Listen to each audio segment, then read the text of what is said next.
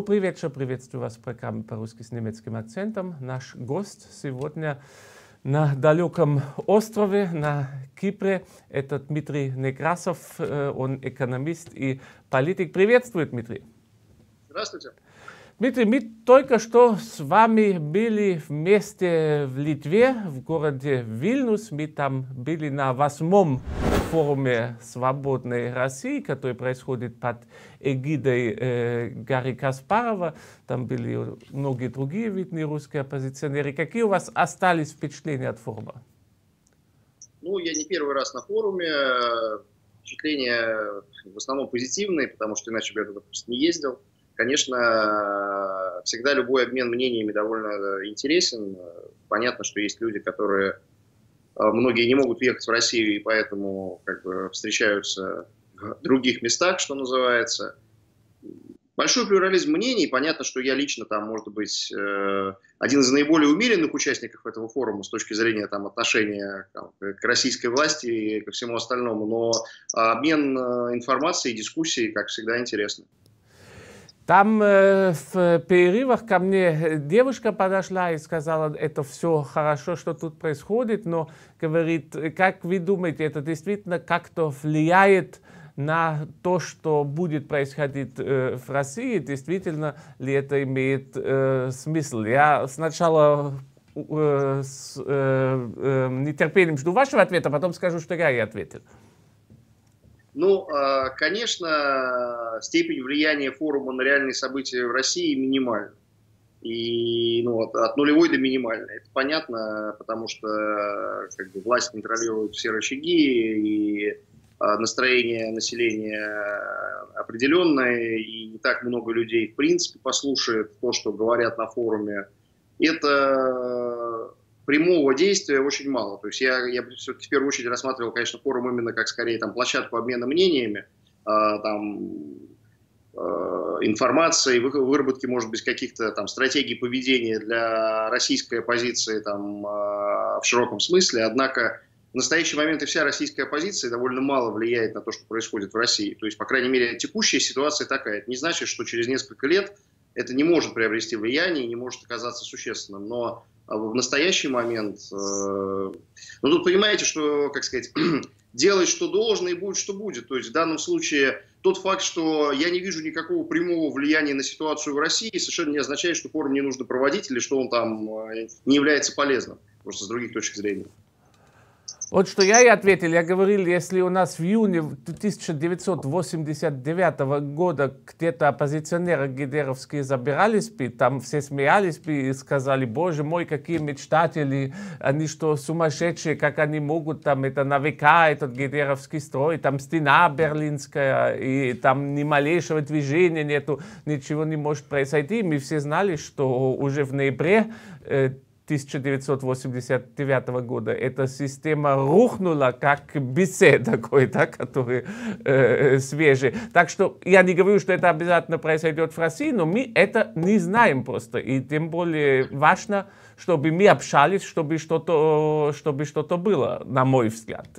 Ну, э, я бы даже привел гораздо более сильный пример вот, на тему того, что вы говорите.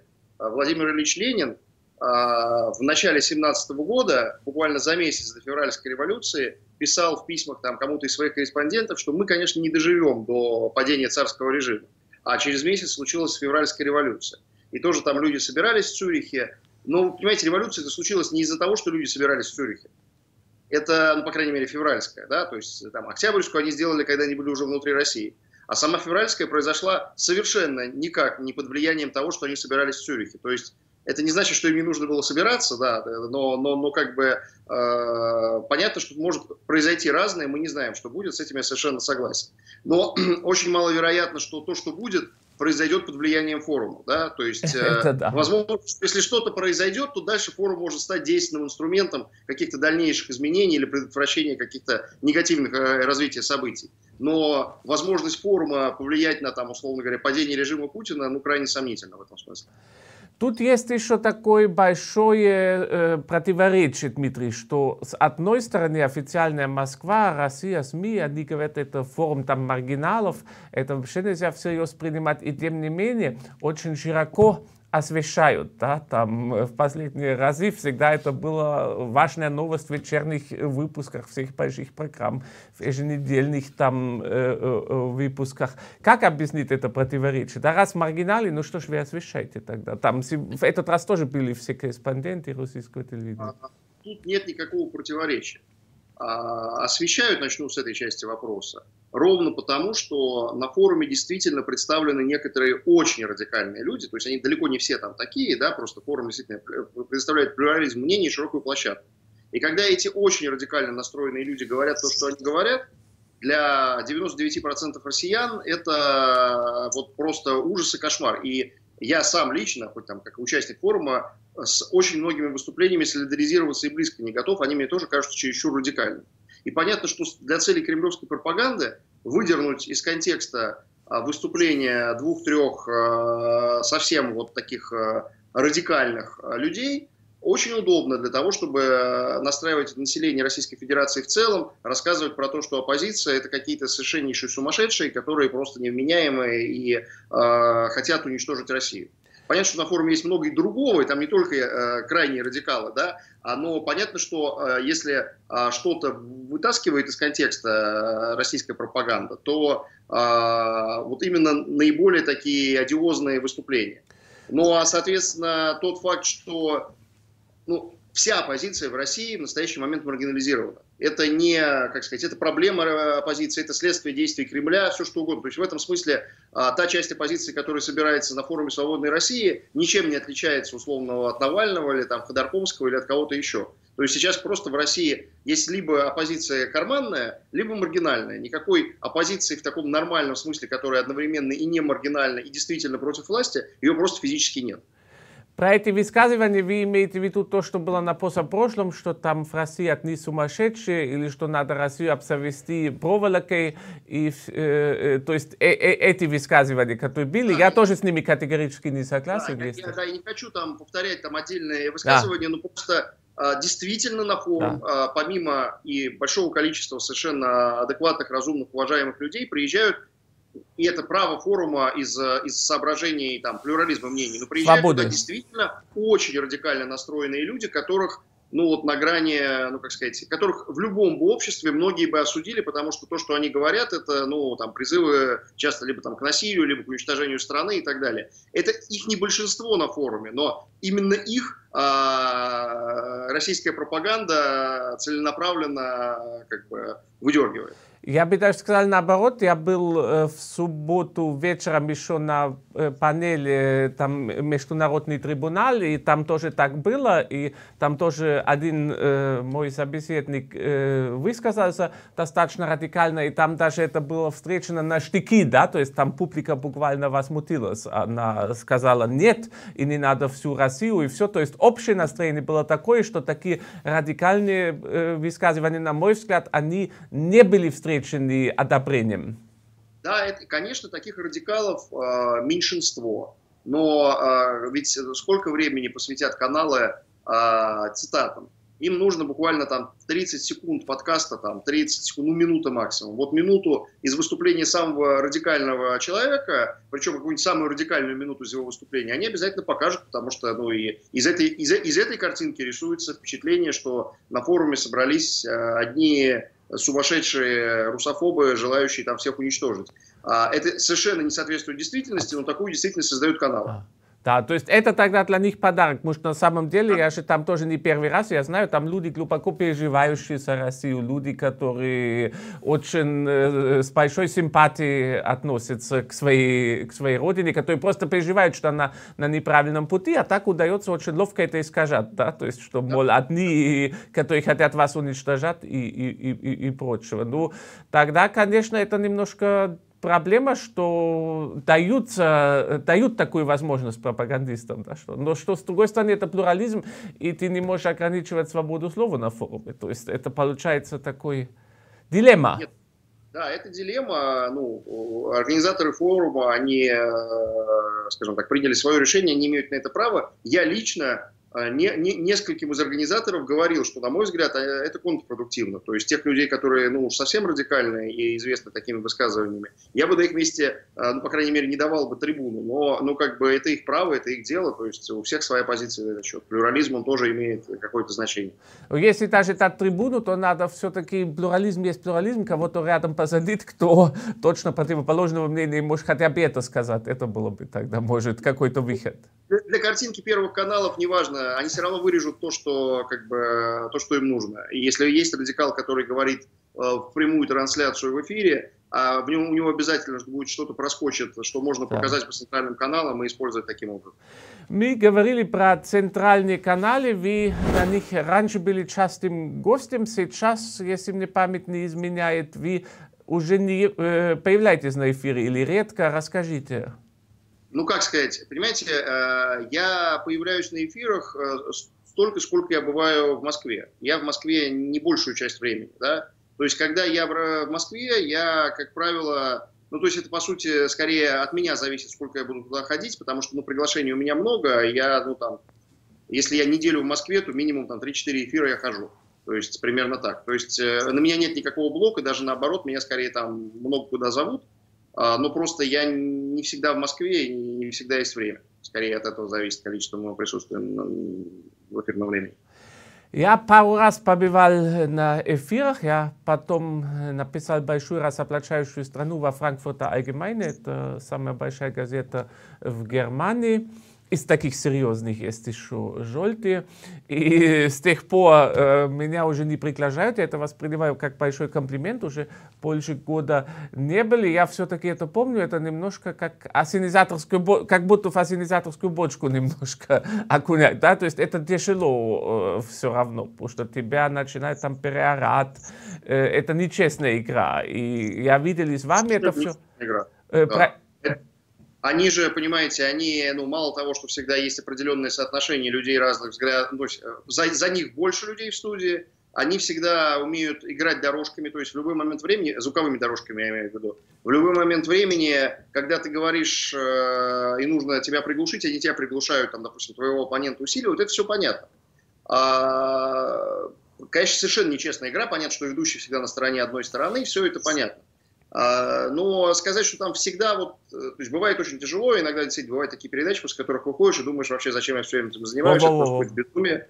А, но бывают и вполне себе конструктивные вещи, тем более, что, ну, как сказать, я уже, ну, приобретя некоторый опыт, я, во-первых, э, ну, я выбираю темы, то есть я там на какую-нибудь украинскую тему иду только если меня уж очень-очень просят, как правило, отказываюсь, да, или там, ну, то есть я стараюсь выбирать те темы, которые, скажем так, не являются жесткой линией противостояния, условно говоря, патриотов и западников, да, а иду на те темы, которые, ну, иногда бывают и внутренние темы, иногда бывают, ну, какие-то такие просто, э, скажем так, э, нейтральные темы. Я, я больше хожу туда, ну и плюс, конечно, часто стараюсь просто, если я не в настроении там покричать, бывает и такое настроение, но если я не в настроении, я просто смягчаю формулировки, чтобы э, не вызвать э, огонь. Всегда понятно, как, что, что вызовет огонь, что не вызовет. Ну, это такая интересная игра, как э, где-то даже как шахматы. То есть, на самом деле, очень интересно ну, предугадывать, как будет что поворачиваться и пытаться во всем этом маневрировать. Какая там ваша любимая передача? В смысле, моя любимая передача? Ну, я не могу сказать, что... Кроме нашей, конечно. Что? Кроме нашей, конечно. А, э, ну, они все разные. А, где-то у меня там лучшие отношения с ведущими, там одна ситуация. Где-то больше дают говорить содержательно более длинными периодами. Это другая ситуация, да. А, где-то больше показов, третья ситуация. То есть я не могу сказать, что мне что-то вот прям больше нравится и, и, или меньше как раз э, ну, стараюсь ходить на разные. Во-первых, у них же у всех разная аудитория, то есть, в принципе, мне-то это зачем? Глобальная там узнаваемость.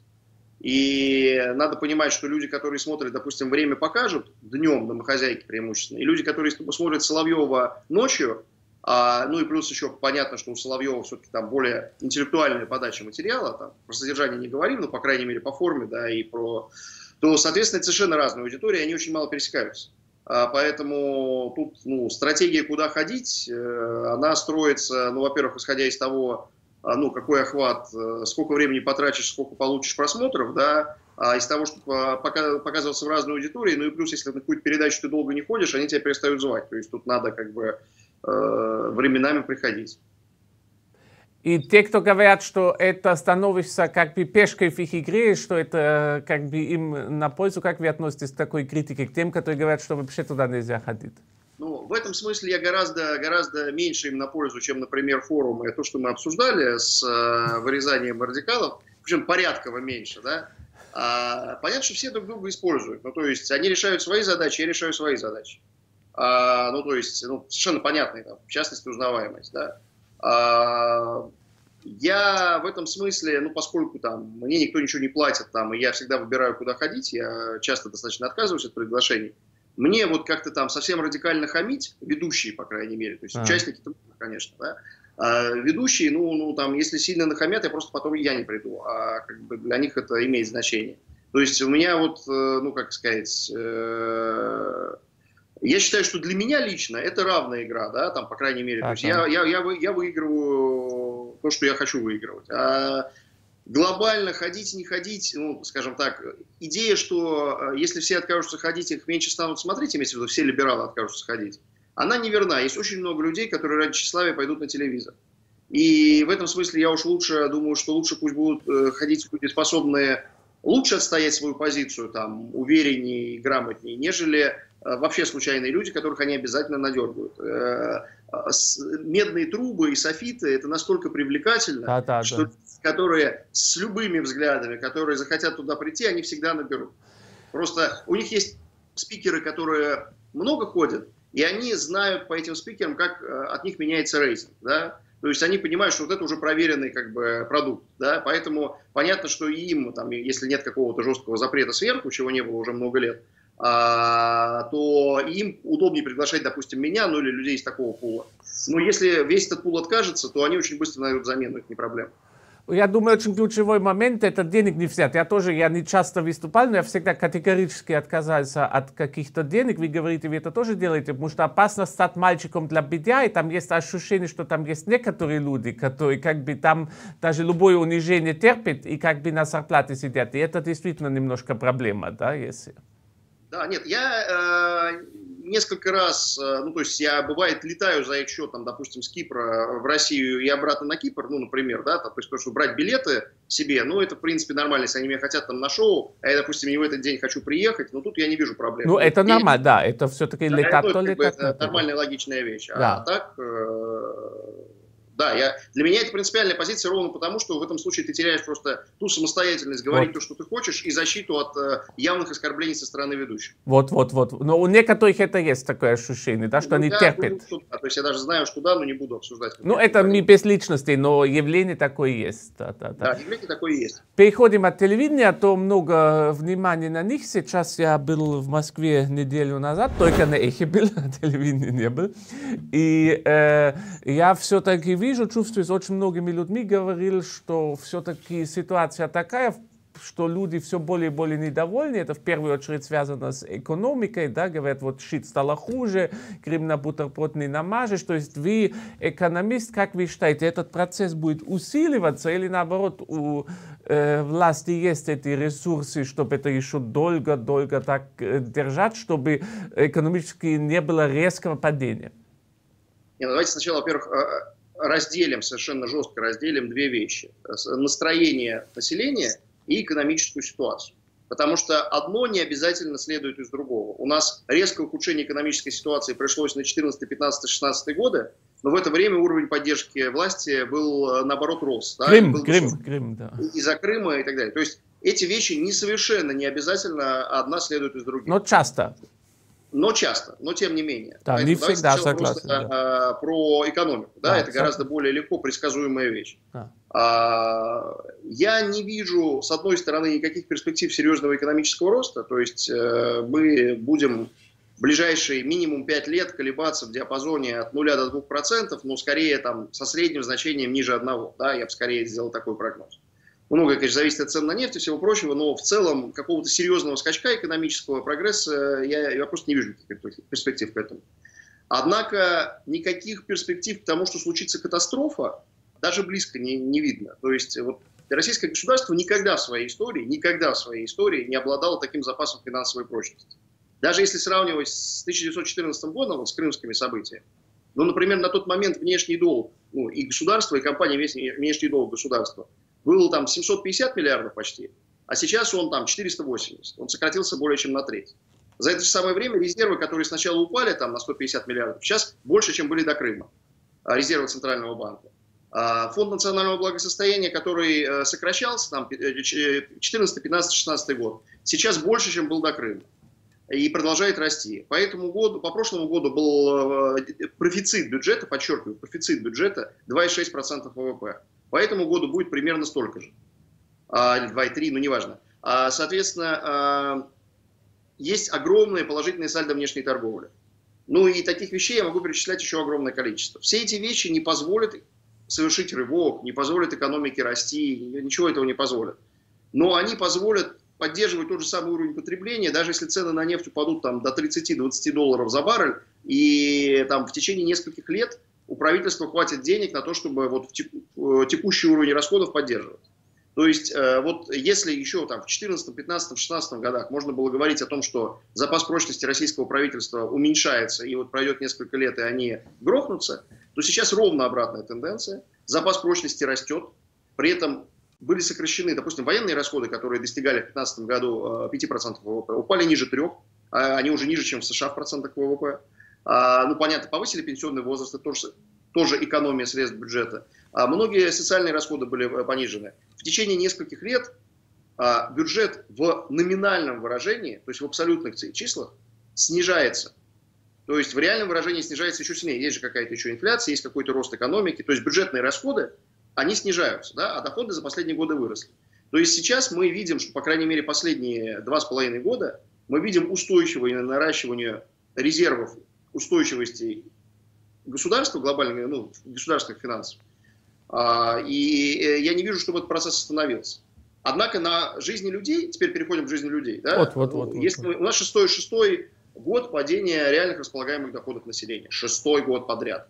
Такого не было в 90-е годы. Ну, там, там амплитуда падения была больше, но вот. чтобы подряд 6 лет э, да. падало, не было. Ну, то есть а сейчас доходы на там, 10-11% реально располагаемые доходы ниже, чем они были в 2013 году. А, соответственно, и нет никаких перспектив того, что они вырастут. То есть в этом году, наверное, будет какой-то небольшой рост, но тоже все около нуля. То есть, по большому счету, там первые два года было резкое падение, а потом небольшое падение, либо ноль. Вот, вот как бы где мы балансируем. Э, ну, вообще для очень многих стран, это на самом деле 6 лет падения реальных располагаемых доходов, это очень редкая ситуация в экономике после Второй мировой войны во всем мире. Это вообще довольно редкая ситуация. Конечно, в теории она должна приводить к каким-то там серьезным социальным последствиям, взрывам и так далее. И вот социальные последствия я-то предсказать не берусь. Я не знаю, какие настроения будут у населения. Тут может все очень быстро измениться, может прилететь какой-то черный лебедь и так далее. Ага. Но как бы пока мы констатируем следующее, что мы наблюдаем 6 лет либо резкого снижения, либо там стагнации реальных располагаемых доходов населения. А, жизнь, жить стали объективно хуже.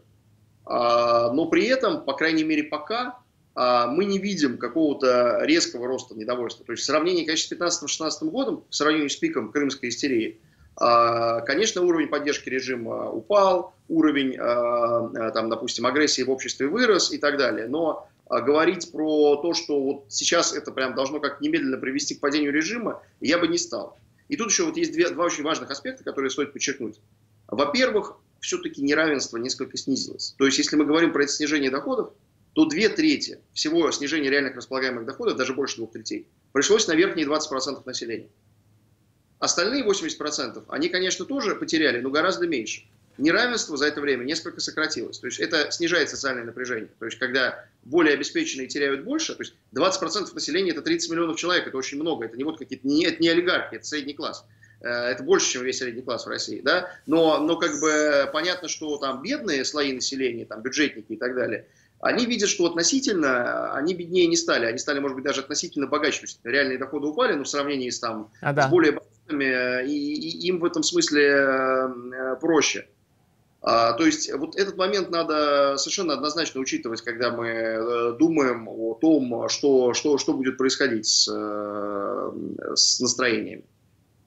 Да, еще, еще а, второй, второй момент. вы говорили два, да, я жду. И второй момент. Вот, ну, допустим, поддержка Крыма снижается. А. Всей истории снижается. Вообще вся поддержка внешнеполитической истерии, она снижается. Но мы видим такую тенденцию. Мы видим в количественной социологии, причем очень четко. У нас до 2014 года была большой проблемой э, ксенофобия по отношению к мигрантам. Как только случился Крым, любой, любой негатив по отношению к мигрантам моментально упал в разы. Вообще просто проблема мигрантов фактически исчезла. Вот сейчас тема Крыма э, начинает э, отпускать, и мы видим тут же одновременно рост э, ксенофобских отношений, э, настроений по отношению к мигрантам.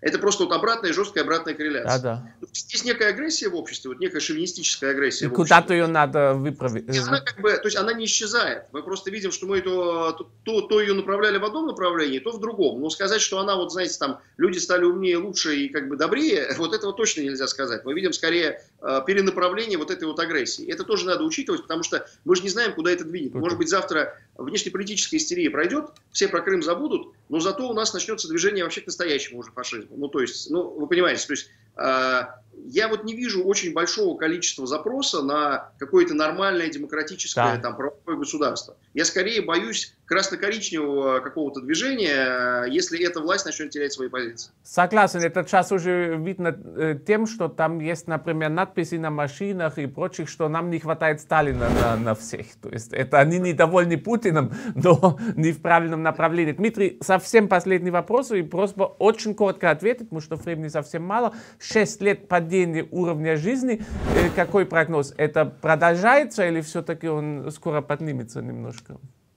А, ну, я думаю, что, конечно, по этому году, скорее всего, мы будем видеть плюсовые значения, но плюсовые значения в рамках там десятых долей процентов. То есть, когда там на 10% упало, там на десятые будет расти один год, другой. Э, ну, то есть, это стагнация. При той, при, том точности, при той точности статистики, которой мы обладаем, это стагнация. Я не вижу, и причем даже, ладно, я, прогнозы Минэкономразвития не предусматривают какого-то существенного роста реальных располагаемых доходов до 2023 года.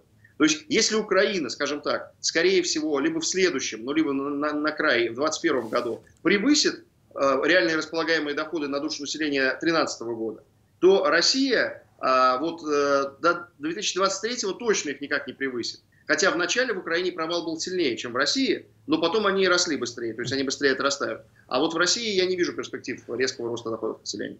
Вот на такой грустной ноте, увы, мы вынуждены попрощаться. Напоминаю вам, дорогие зрители, что с нами на связи был на Кипре российский экономист и политик Дмитрий Некрасов. Спасибо большое, до свидания, Дмитрий. Спасибо большое, до свидания. И до свидания и спасибо вам, дорогие зрители. Смотрите нас снова в следующую субботу в 20 часов на канале Ост-Вест. Или если пропустили передачу по-русски с немецким акцентом, смотрите ее в интернете и на сайтах каналов в социальных сетях, которые вот сейчас вот вы должны увидеть на эфире. До свидания, auf Wiedersehen, до побачення, нах вам дис, ла реведере, чао.